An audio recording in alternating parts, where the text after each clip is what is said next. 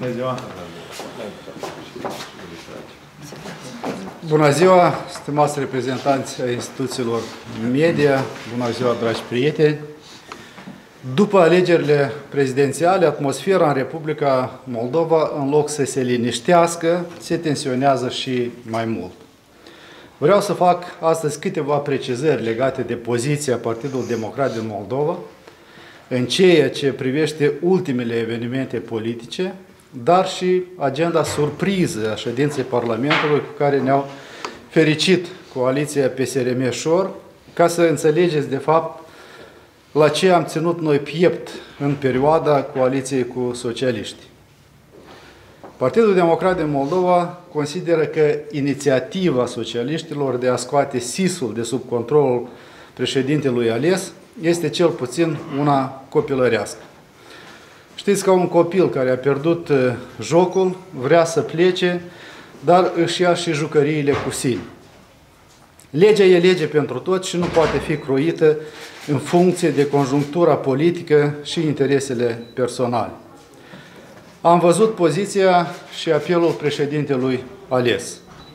Partidul Democrat din Moldova se solidarizează cu cetățenii care nu acceptă abuzuri și care vor altfel de politică corectă și transparentă.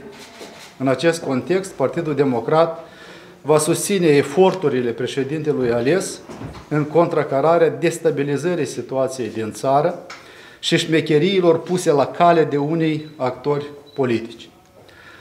La 15 noiembrie, oamenii au votat pentru schimbări nu doar la președinție, ci și la guvernare. Haideți să le oferim aceste schimbări.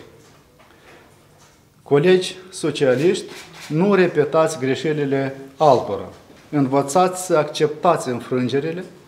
Memoria tuturor e încă proaspătă. Nu călcați pe aceeași greblă pe care au călcat și alții anterior în încercarea de a se menține la putere cu orice preț. Partidul Democrat pe această cale face apel către fracțiunea Partidului Socialiștilor să retragă acest proiect din procedură parlamentară. Pe fundalul numărului tot mai mare de cazuri de COVID și crizii catastrofale în care se află țara, considerăm că cele trei proiecte legate de statutul limbii ruse, propaganda rusească și prescripțiile medicale în limba rusă sunt doar o fumigenă disperată cu care guvernarea încearcă să distragă, de fapt, atenția de la lipsa paturilor din spitale, insuficiența medicilor, economia slabă și numărul enorm de infectări. Din păcate, constatăm a câta oară că în Republica Moldova, în momentele dificile pentru țară, politicienii speculează cinic subiectele legate de limbă, istorie, valori, identitate. Nu acestea sunt acum prioritățile, ci majorarea numărului de teste, identificarea contactelor, tratamentul eficient pentru cei infectați, asigurarea lucrătorilor medicali cu echipamentul necesar, identificarea spațiilor pentru internarea celor în stare gravă, accesul la vaccin și medicamentele necesare. Acestea trebuie să fie prioritățile noastre, nu subiectele care dezbină societatea și ne împart din nou pe baricade. Partidul Democrat solicită fracțiunii Partidului Socialiștilor să renunțe la aceste proiecte și să le retragă din procedură parlamentară. Partidul Democrat nu va susține aceste proiecte. Limba, istoria, identitatea nu sunt subiecte de negocieri politice. Proiectele care vizează statutul limbii ruse și scoaterea SIS-ului de sub controlul președintelui ales, deși profund abuzive și periculoase, sunt niște fumigeni menite să ne distragă atenția de la jocurile de sub masă.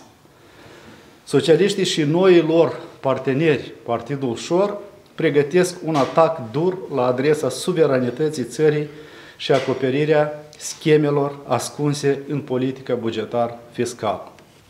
În ceea ce privește politica bugetar-fiscală și bugetul pentru anul viitor. Partidul Democrat consideră bătaie de joc graba cu care guvernarea încearcă să aprobe aceste documente și crede că acestea trebuie consultate pe larg cu întreaga societate, mai ales că acestea conțin elemente foarte dubioase. Pentru Partidul Democrat există câteva linii roșii pe care noi nu le vom accepta. Majorarea TVA în agricultură de la 8 la 12%, o lovitură dură pentru fermierii noștri și așa afectați dur de secetă din acest an, o lovitură și pentru consumatori, pentru că vor urma scumpiri în acest sector. Scheme de milioane cu țigări.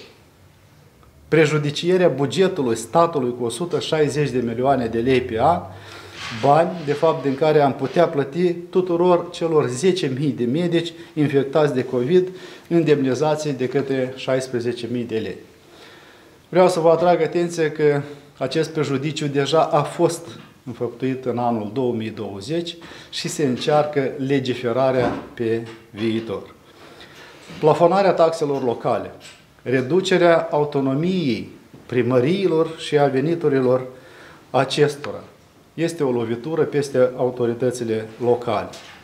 Schema cu medicamente neautorizate. O schemă periculoasă care permite importul de medicamente de calitate și proveniență dubioasă și care lovește în importatorul și producătorii legali și corecți.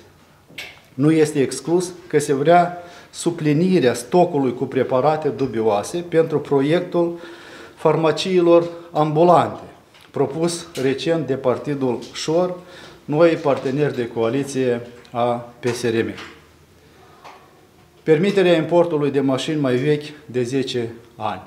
Un atac dur pentru mediul ambient, aerul pe care îl respirăm și sănătatea oamenilor. Într-un an în care de sănătate avem nevoie cel mai mult. Impozitarea dobânzilor la bănci cu 3% pentru persoane fizice. O lovitură pentru oameni, care și așa anul acesta au dus-o și o duc greu. Cerem guvernului să renunțe la toate aceste prevederi. În caz contrar, Partidul Democrat nu va susține politica fiscală și bugetul pentru anul viitor. Partidul Democrat din Moldova este profund îngrijorat și consternat de intenția noii coaliții PSRM-Șor de a crea un precedent periculos în ceea ce privește inițiativele privind autonomia Căgăuzului. Considerăm că cele trei proiecte care vizează autonomia găgăuză mai au nevoie de consultări suplimentare, ori în forma care sunt propuse sunt neconstituționale. Multe neghiobii a făcut această nouă coaliție în doar două săptămâni. Însă aici este vorba de altceva. E vorba despre țară. Votarea în grabă acestor proiecte ar însemna un atac extrem de dur la adresa suveranității țării și crearea unui precedent foarte periculos. De asta Partidul Democrat nu va admite prejudicierea interesului țării. La final, fac apel către toți deputații care se declară patrioți și stataliști să renunțe la aceste proiecte periculoase pentru țară. Vă mulțumim!